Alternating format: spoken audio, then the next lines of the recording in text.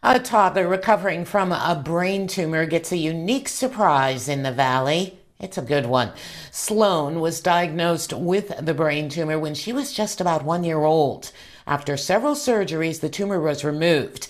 Since then, she's having to relearn new milestones like walking and talking. The Make a Wish Foundation decided to brighten Sloan's day by surprising her with a playhouse. It's a cool one. This is where she can continue her road to recovery with play therapy. It's going to help her without her even knowing. Uh, there's the, the kitchenette set is great because one of her therapy things is reaching up high and gaining all that strength. So, all those everyday things that we do uh, and kind of take for granted are little things that are really going to help her in her recovery going forward. And there's a lot of people rooting for her recovery. Go, Sloan, go.